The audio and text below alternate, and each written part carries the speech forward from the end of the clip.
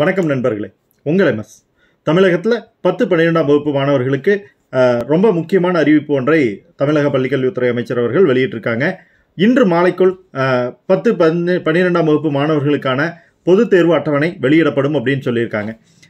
இந்த ஆண்டு கொரோனா தாக்கம் இருந்த போதிலும் கூட பத்து பன்னிரெண்டாம் வகுப்பு மாணவர்களோட நலனை கருத்தில் கொண்டு செப்டம்பர் மாதமே பள்ளிகள் திறக்கப்பட்டன. பள்ளிகள் திறக்கப்பட்டது மட்டுமல்லாமல் குறைக்கப்பட்ட பாடத்திட்டங்கள் அறிவிக்கப்பட்டிருந்தது.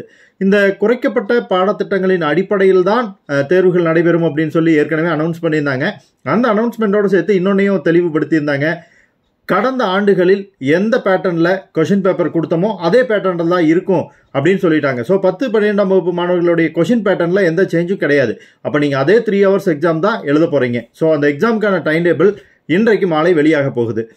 சுப்ரீம் கோர்ட்டில் கூட கேஸ் போட்டிருந்தாங்க. ஆஃப்லைன் எக்ஸாம் வேணாம் ஆன்லைன் எக்ஸாம் தான் வேணும். மாற்று முறைகளை கடைபிடிங்கள் அப்படின்னு சொல்லி கேஸ் போட்டிருந்தாங்க. அதை சுப்ரீம் கோர்ட் நிராகரித்தது நமக்கெல்லாம் தெரியும். ஸோ இப்போது ஆஃப்லைன் மூலிமா இந்த ஆண்டு தேர்வு அப்படிங்கிறது வந்து உறுதியாயிருச்சு. ஏற்கனவே நாமளும் பலமுறை சொல்லிக்கிட்டு இருந்தோம். இந்த ஆண்டு கட்டாயம் பொதுத் தேர்வு நடைபெறும்னு. எப்போ நடக்க போகுது? ஏப்ரல் இறுதியிலா அல்லது மே மாதத்தில்? ஆரம்பத்தில்? அப்படிங்கிறத இன்னைக்கே தெளிவுபடுத்திக்கலாம். மிக முக்கியமான கேள்வியோட பதினொன்றாம் வகுப்பு மாணவர்கள் காத்திருக்கிறீங்க. எங்களுக்கு தேர்வு உண்டா இல்லையா?